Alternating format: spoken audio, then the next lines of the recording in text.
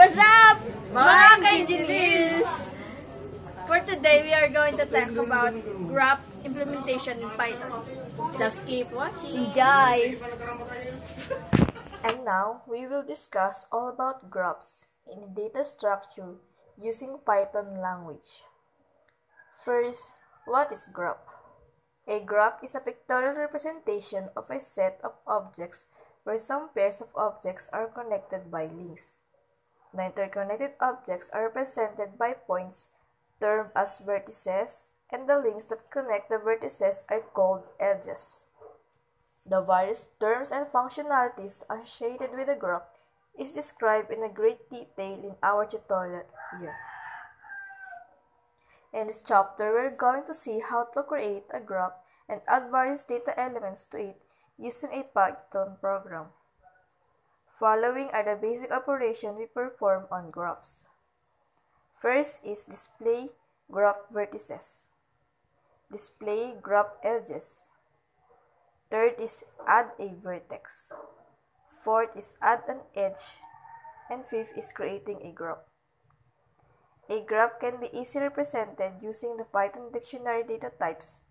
We represent the vertices as the keys of a dictionary and the connected between the vertices are called edges as the values in a dictionary. Normally, a graph is a pair of sets V and E, where V is the set of vertices and E is the set of edges, connecting the pairs of vertices. Take a look at the following graph. In the above graph, V is equal to the set of A, B, C, D, and E.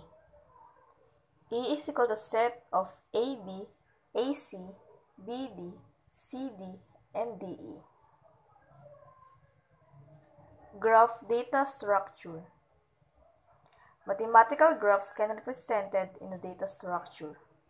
We can represent a graph using an array of vertices and a two-dimensional array of edges. Before we proceed further, let's familiarize ourselves with some important terms.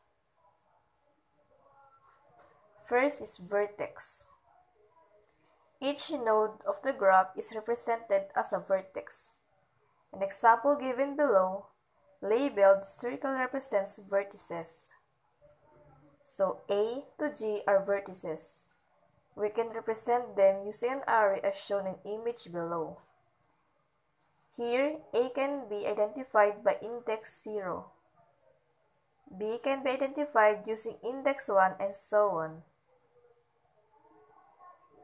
Next is edge. Edge represents a path between two vertices or a line between two vertices. An example given below, lines from A to B, B to C, and so on represents edges. We can use a two-dimensional array to represent array as shown in image below. Here, AB can represented as 1 at row 0 column 1 BC as 1 at row 1, column 2 and so on, keeping other combinations as 0. Adjacency Two nodes or vertices are adjacent if they are connected to each other to an edge. An example given below, B is adjacent to A, C is adjacent to B, and so on. Next is path. Path represents a sequence of edges between two vertices. An example given below, A, B, C, D represents a path from A to D.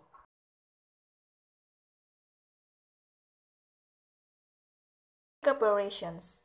Following are basic primary operations of a graph which are following. First is add vertex. Add a vertex to a graph. Add edge. Add an edge between two vertices of a graph. Display vertex. Display a vertex of a graph. And now, we will show you a console program of a graph. Take a look at the following graph. First is in the above graph. V is equal to A, B, C, D, and E. E is equal to set of AB, AC, BD, CD, and DE. We can present this graph in a Python program as below. Create a dictionary with the graph elements. It is here. And print the graph. When the above code is executed, it produces the following result. Display graph vertices. To display the graph vertices, we simply find the keys of the graph dictionary. We use the keys method. Here is the class graph. Get the keys of the following dictionary. Create a dictionary with the graph elements. When the above code is executed, it produces the following result. Next is display graph edges. Finding the graph edges is little trickier than vertices as we have to find each of the pairs of the vertices which have an edge in between them. So, we create an empty list of edges, then iterate through the edge values associated with each of the vertices. A list is formed containing the distinct group of edges found from the vertices. Here is the class graph. Find the distinct list of edges. Create a dictionary with graph elements. When the above code is executed, it produces the following result. Adding a vertex.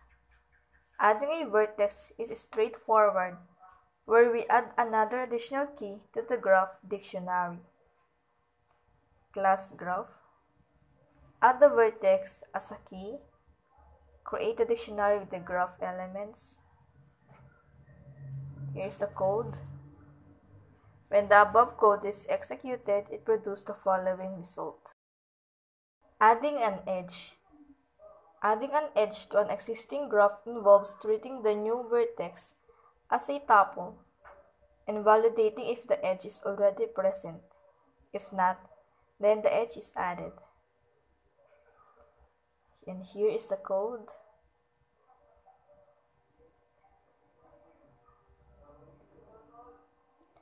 When the above code is executed, it produces the following result. We hope, we hope you learned something from us. Bye-bye. See you next